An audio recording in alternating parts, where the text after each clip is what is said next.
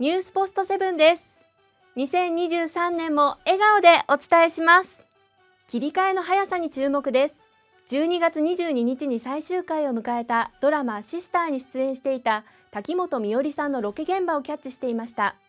居合わせた男性によると滝本さんは役柄のせいもあるのか撮影の合間にも笑顔を一切見せず見ているこちらも緊張してしまうほど重い空気が漂っていたとのこと。しかし撮影が終盤に差し掛かるとメイク直し中に笑顔を見せ始め監督の OK が出た時にはその場にいた女性スタッフと満面の笑顔で万歳ポーズを見せたそうです。